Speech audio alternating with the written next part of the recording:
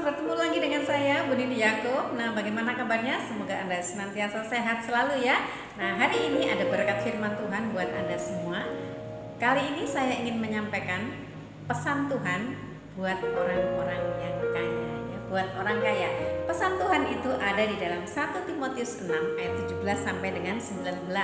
Dikatakan demikian, Peringatkanlah kepada orang-orang kaya di dunia ini agar mereka jangan tinggi hati dan jangan berharap pada sesuatu yang tak tentu seperti kekayaan, melainkan pada Allah yang dalam kekayaannya memberikan kepada kita segala sesuatu untuk dinikmati.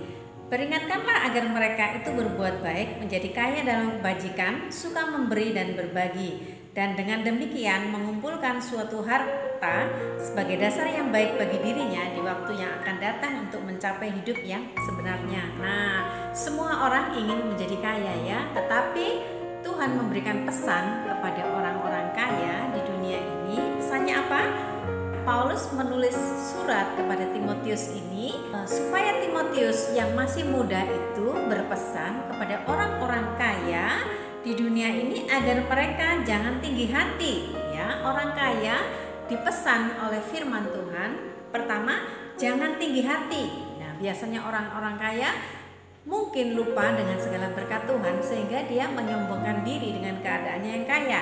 Karena itu dipesan Tuhan jangan tinggi hati dan yang kedua jangan berharap pada sesuatu yang tak tentu seperti kekayaan melainkan Berharap kepada siapa? Berharap kepada Allah yang dalam kekayaannya berikan kepada kita segala sesuatu untuk dinikmati. Nah, ada pesan, ada dua pesan dari Tuhan bagi orang kaya. Pertama, jangan tinggi hati ya. Pertama, jangan tinggi hati. Jadi harus dengan rendah hati dalam hidupnya. Yang kedua, jangan bersandar kepada kekayaan, tetapi bersandar kepada Tuhan saja yang sudah memberikan segala sesuatu kepada kita untuk dinikmati. Lalu, apa yang harus dilakukan oleh orang-orang kaya? Tuhan berkata, "Peringatkanlah agar mereka pertama berbuat baik."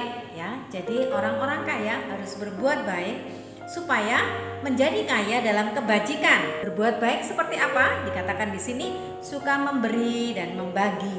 Ya, jadi dengan kekayaannya itu dia memberi dan berbagi kepada orang-orang yang memerlukan. Lalu dengan demikian, dengan berbagi dan suka memberi, mereka mengumpulkan suatu harta sebagai dasar yang baik bagi dirinya di waktu yang akan datang untuk mencapai hidup yang sebenarnya. Mari orang-orang kaya semuanya ingat pesan Tuhan hari ini ya. Pertama, Jangan tinggi hati. Yang kedua, jangan bersandar kepada kekayaan tetapi bersandar kepada Allah yang memberikan segala sesuatu untuk dinikmati. Lalu apa yang harus dilakukan bagi orang kaya? Berbuat baik. Berbuat baik dengan cara apa? Cara berbagi dan memberi ya.